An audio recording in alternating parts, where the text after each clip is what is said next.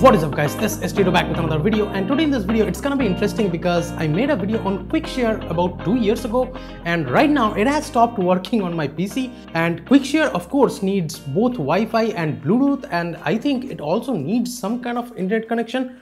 But I found an app which works flawlessly and it is actually a cross-platform app so you can use it between your Mac, your PC like Windows PC, your laptops and your Android phones and stuff and I think even if you are a Linux user, you can use this particular app. This is how versatile it is.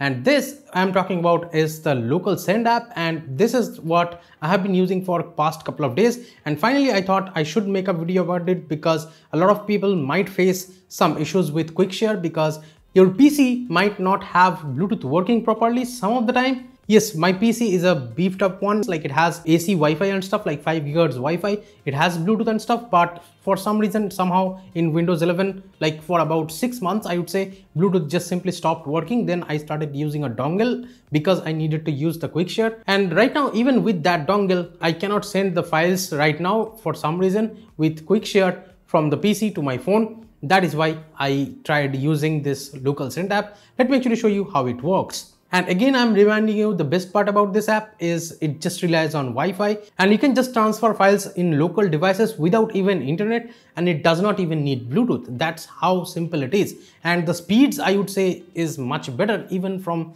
like even when compared to QuickShare. So let me show you how it works and how fast it is and stuff.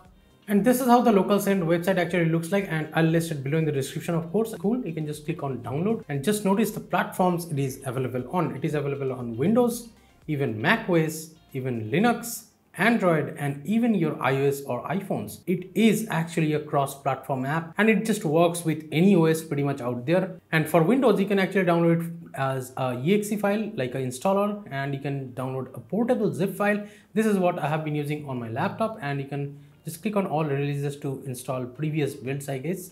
And there is also the Mac OS kind of installation option. There is DMG file there is App Store of course and there is a Linux option as well. You can download it as star deb AppImage. And we have the Android option where you can get the APK I guess as you can see. And there is the Google Play option there is the F-Droid and even Amazon App Store it's there on. And of course for iOS it's only on Apple Store so here I have opened the LocalSend app on my laptop and on my phone as well I have opened it and just download it from Play Store of course. And let me actually show you how you can use it. Of course it's cross platform so you can send it from phone to laptop and to other phones as well if you have them. And here it only has Wi-Fi it doesn't even have a SIM card over here.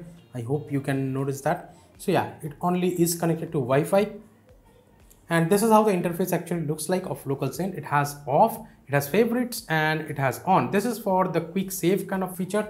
And you can select it to favorite so that your favorite devices if they send some file it will be automatically saved in the download folder on the phone. And in the settings of it you can actually change the themes and stuff of it. And it's actually free. This is really really nice. And we have the device name also you can change. I have entered this name manually redmi k20 pro. Normally it is a different kind of name but yeah you need to restart if you change the names over here. And this is of course my Redmi K20 Pro here. And let me actually show you how to send the file. And my laptop right now shows as Infinix laptop because that's what I named it. And here on the phone I'll just go to send. And here as you can see there is the receive and there is a send option. And if you go into the send option as you can see there are the file selection option. You can also share it with the Android share kind of protocol. And this Infinix laptop actually shows up and I didn't actually add it on my favorites so I'll just do that. So this is what it looks like. It shows the ports and stuff. I'll just confirm. And right now this laptop is on my favorite list. So I can go anytime in the favorites folder and it will show up the favorite devices right here. And currently I'll select a file. And from your file explorer let's assume I'm gonna select this Evolution X ROM file to send to my laptop. I'll just click that. And you can add multiple files of course but I'll just send this file. This is 3 GB almost. So I'll just select it to the Infinix laptop. And just notice progress actually shows up on the laptop as well. So for a 3GB file, I would say it's fairly fast, so I can wait for the time being. And on the phone, you can actually click on advanced to get the advanced info. Right now it shows the speed it's sending at. Currently, it's a little bit slow for some reason, but yeah, I've seen it doing faster So once the file transfer is complete, it shows finished on the phone. Here in the laptop, also it shows this LocalSend kind of interface and the settings option, just like the phone. And also you can change the saved folder and stuff right here. And there is the device name, you can change it from right here. And there are the other options like nearby devices, you can search devices from right here. And you can add it to the favorites of codes from right here, just like this. And there's a manual sending and there is a favorites options and it shows two of my phones Poco F5 and the K20 Pro and there is the send mode also you can have multiple recipients you can have share via link and you can have single recipient as well. And here you can send files folders and even text or you can just send your clipboard copied stuff to your phone. Let's assume i'm gonna send this screenshot. I'll just copy it over here and just over here i'm gonna select paste. As you can see the file has come here and I can just send it to my K20 Pro. And as you can see it's already done. The file is sent and I can open it right here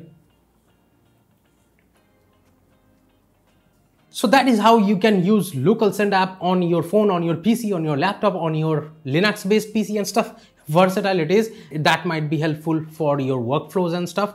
So if you found this video helpful, please share it with your friends and subscribe to the channel. If you have not yet, give this video a thumbs up. Hope you all having an amazing day and I'll be catching you guys in the next one. Bye now.